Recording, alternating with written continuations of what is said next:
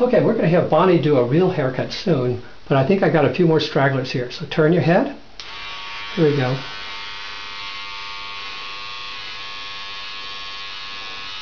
A lot of people do their own haircuts. I'm not that brave. This is the closest I've come.